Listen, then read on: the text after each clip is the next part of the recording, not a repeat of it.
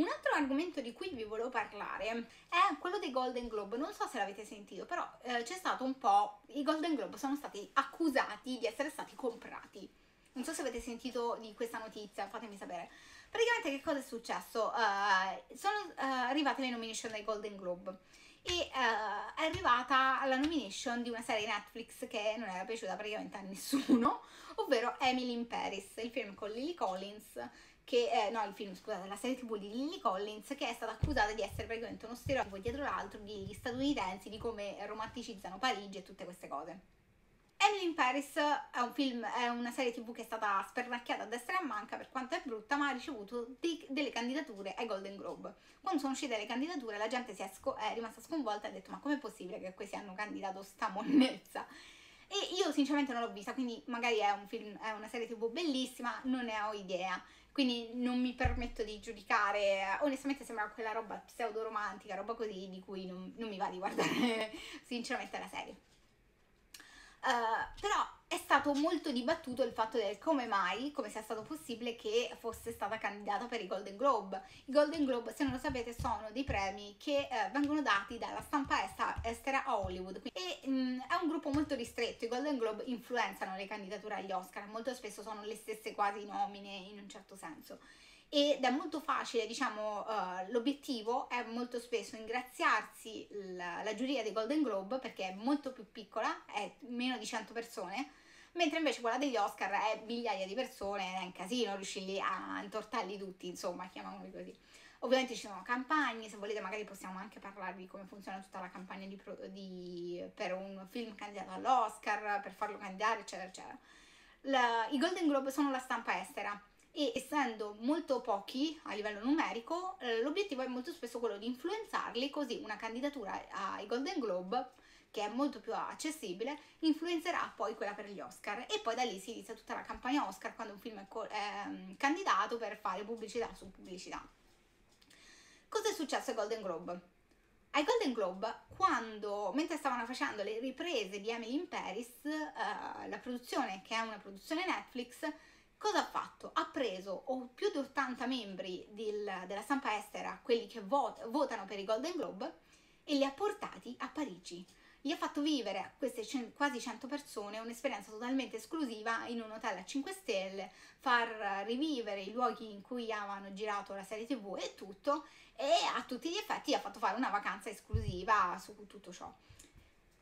Uh, qui inizia il problema perché di questa cosa si è saputo dopo la nomina della serie tv è diventata diciamo una roba di cui si è parlato per quanto riguarda largo pubblico e non rimanesse semplicemente circoscritto alle persone che l'hanno vissuta o alla stampa roba del genere.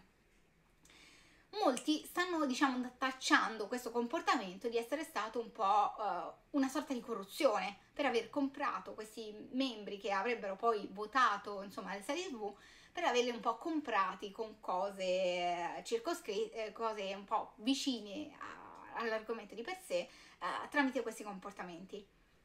Ma i Golden Globe influenzano solo i film esteri, degli Oscar oppure film di produzione americani? Anche in, influenzano tutto principalmente.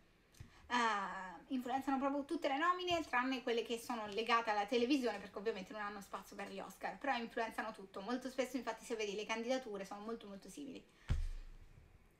Quindi molte persone hanno un po', visto erano molto sorpresi del fatto che Emily in Paris fosse stata candidata a una serie che non credevano effettivamente meritevole, fosse stata candidata ai Golden Globe, hanno un po' detto, hanno un po' fatto 2 più 2 e hanno pensato che le due cose fossero collegate e hanno visto anche un pochino di marcio, diciamo così, per quanto riguarda questo uh, viaggio aziendale in un certo senso. Tutto ciò è vero, è giusto, come funziona? Allora, da una parte posso capire che il largo pubblico o anche le persone strettamente connesse a tutto ciò possono vedere con questo viaggio esclusivo e molto lussuoso fatto fare alla stampa come una sorta di comprarseli, intortarseli per poi far votare il proprio film, il proprio prodotto. Posso capire che possa essere visto così, però allo stesso tempo bisogna anche parlare di un altro argomento, ovvero che queste cose sono la norma Uh, certi tipi di, uh, di com- coinvolgimento per quanto riguarda la stampa sono proprio alla base del, della sponsorizzazione di un prodotto, che sia film, serie tv e tutte queste cose. C'è per esempio, che ne so, quando doveva uscire il DVD di Game of Thrones o la nuova stagione, era stato fatto fare dalla Warner Bros. un tour ai giornalisti nei luoghi in cui avevano uh, girato la serie di Game of Thrones. Quindi hanno preso un sacco di persone, l'hanno portate lì in Scozia, gli hanno, credo in Scozia, vabbè, non lo so, oppure in Islanda, gli hanno fatto fare tutto un giro per queste cose. Che vuol dire tutto ciò? Che, che funziona sempre quando c'è una campagna promozionale per far conoscere il proprio film o addirittura quando il film è stato candidato e quindi farlo votare, queste cose accadono perennemente all'interno del mondo della stampa e del cinema.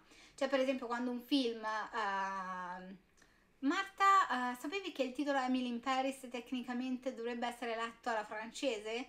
Uh, oddio. In modo che Emily rimi con Paris? Piccola curiosità, totalmente off topic. Cioè, non credo che sia, dovrebbe essere letto così, credo sia una delle opportunità. Emily in Paris.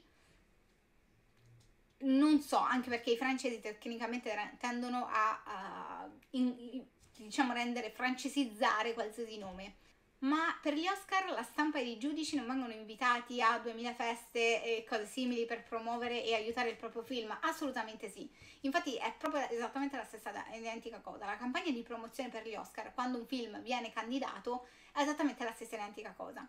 Molti uh, fanno tanti, tante feste a, a Hollywood intorno, oppure mandano dei pacchi particolari, mandano delle edizioni speciali, edizioni deluxe, primo per far, uh, per cogliere l'attenzione sul proprio film da parte delle persone che dovranno votare uh, qualche categoria a cui è poi nominato anche quel film stesso. Ma uh, c'è anche tutta un'altra questione, ovvero a volte le persone non hanno visto quel film, magari se lo sono perso, è uscito diversi mesi prima, non possono più vederlo e quindi proprio per questo mandano delle, possi- del- delle opzioni in cui vedere questi film e recuperarli.